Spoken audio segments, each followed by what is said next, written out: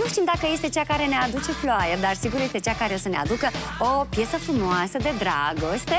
Dar nu înainte de a spune ce schimbări frumoase au loc în viața ei, s-a mutat la Chișinău. A lăsat Bucureștiul. Dacă e adevărat sau nu, aflăm chiar de la ea. Salutare, Cheti! Mă bucur foarte mult! Bună, bună, Lelu! Salut! Ia am văzut un ce a venit îmbrăcată. Ia uitați-vă ce sacou are și... Dar stați, încetișor, că aveți de citit. Așa. Așa. Te vedeam în cărțile, cărțile citite cu final de adânci bătrâneți trăite. Oh, și la spate? Ia să vedem. Și ce e cel mai important? Vrei să fii... Ce? So, so, soția ta, nu? știi, parcă asta e singura întrebare la care păi, oamenii se gândesc, e, da. știi? Știam că mă vei găsi cândva să mă întrebi vrei să fii soția ta? soția mea, scuze. Uh -huh. Ai zis tu că ta. Păi, înseamnă că ai fost cerută de nevastă? Înseamnă că am o piesă super frumoasă, pe care o iubesc tare mult. Păi mă gândeam că bărbatul care te-a cerut a fost îmbrăcat în așa sacou, că vedeți că e un uh, sacou oversize, și el a făcut așa, hop, și tu ai zis, da! Nu, eu l-am pregătit pentru el, care ah, să vină, știi? Să vină. Bine, ia de, de, de, ce te întreb asta? Pentru că uh, fetele mele au zis că tu ai postat pe, pe internet rochie de mireasă. Așa și noi așa am rămas... Oh! Adică de bine, ne-am da. bucurat pentru tine. E adevărat? O să îmbraci rochie de mireasă? Am îmbrăcat rochie de mireasă, dar nu pentru, știi cum Aha. se face, Aha. dar pentru o piesă, pentru că e piesă despre asta, este o piesă visătoare, despre fetița care crește și visează, citește povești și în povești cu prinț mm. cu al alb și cu adânci bătrâneți trăite. Cam e despre asta. E ceva ce probabil fiecare fetiță și-ar dori nu? Haideți să o vedem cum arată în, în rochie de, de mireasă, Hai, fata noastră. Da, Stai de fapt, teaser. Katie a îmbrăcat odată rochia de mireasă, știți bine, a fost și căsătorită.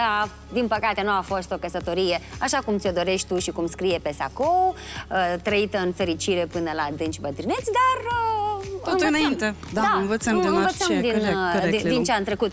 Totuși, uite, Uh, după așa gen de momente, foarte multe uh, femei, atât și uh, atât fete cât și bărbați, după despărțiri nu mai au încredere că pot să pornească ceva. Cred că da și uh, aș spune că și eu n-am avut o perioadă încredere, dar uh, e ciudat că noi ne adaptăm cu orice și sperăm, poate, Um, așa că cred că nu, nu se pierde ceva ce e, ce e de mică, de mic fiind, nu se pierde ceva luminos. Și ba mai mult, eu aș spune că e un fel de treaptă mai avansată atunci când treci prin ceva greu, prin dezamăgiri, dar oricum crezi în iubire, crezi în ceva frumos, pentru că de ce e avansată? Pentru că ai învățat și lecții și uh, iertarea, de ce nu, mm-hmm. da? Sper că vă mă înțelegeți. Am văzut imaginile Totuși, uh, în care era îmbrăcat într-o rochie de mireasă. Sunt imagini video din ce? Sau... Nu, este teaser, de fapt, e începutul ah, piesei. Așa. Un mic teaser mm-hmm, a fost mm-hmm. și să dau de înțeles, să, să fie clar la toată lumea că e despre speranța asta a fetelor și, dar nu neapărat căsătorie și, mm-hmm. și ștampila în pașaport, dar însă și găsirea jumătății. Hai să o numim așa. Vrei să fii iubirea mea? Uite așa o întrebare. Da. Da, și noi de multe ori punem că vrei să fii iubirea pe umerii altcuiva, dar totuși cea mai importantă iubire este cea de sine, pentru că atunci când și o femeie și un bărbat se iubește, atunci ea este tratată, adică acea persoană este tratată cu iubire. Da, este. Am simțit și eu pe pielea mea. Uh, iubirea de sine este importantă și nu știu de ce noi totuși căutăm jumătate sau alt, da, o găsim, uh, căutăm poate confirmarea iubirii de sine sau nu știu, prin altcineva. Și totuși, chiar dacă ne naștem singuri și murim singuri, noi avem nevoie de suflet de suflete sau de suflet pereche sau de suflete în general um, care să fie apropiate, da, care să rezonăm. Uh, Ai acum pe cineva? Aici? Da, e, da, aici. Aici, aici, aici la braț, aici, în sub Da. Este da, cineva este. Ta, da. Știi, am scris piesa asta acum 2 ani și jumătate, aproape 3. Da. Așa mi-a venit atunci, da? Atunci m-am îndrăgostit, să știi.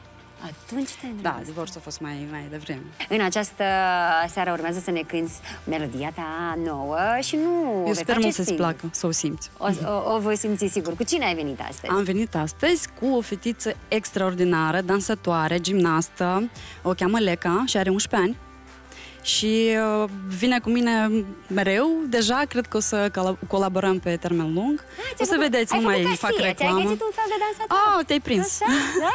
Ei, zici, fată deșteaptă, ce-ți faci? Ești, Am dar ajuns la n-aveam televizor. dubii, Hai, să, n-aveam.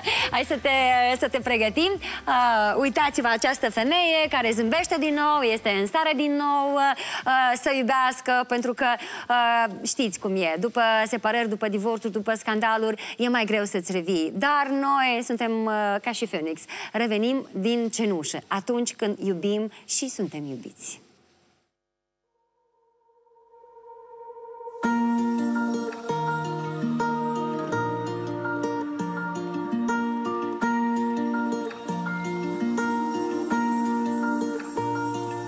Te vedeam în cărțile citite Cu final de adânci bătrâneți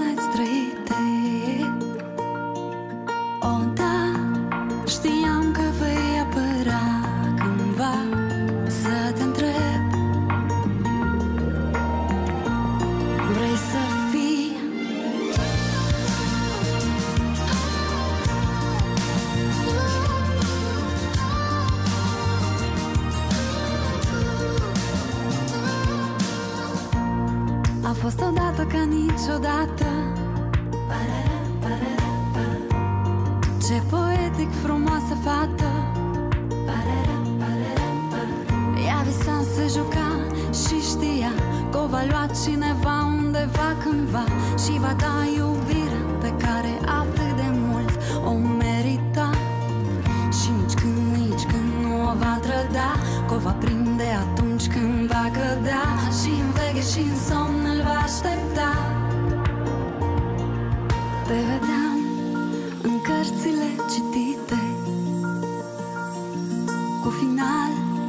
adânci bătrâneți trăite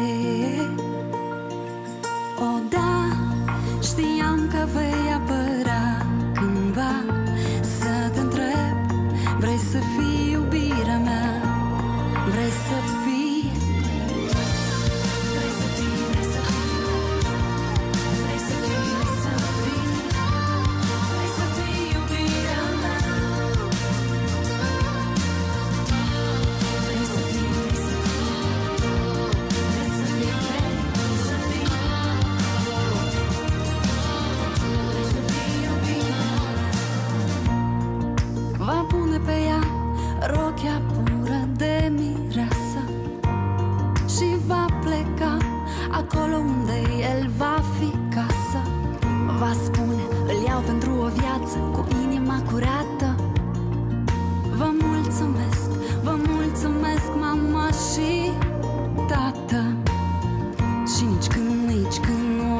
o va trăda Că o va prinde atunci când va cădea Și în veche și în somn îl va aștepta. Te vedeam în cărțile citite Cu final de adânci bătrâneți trăite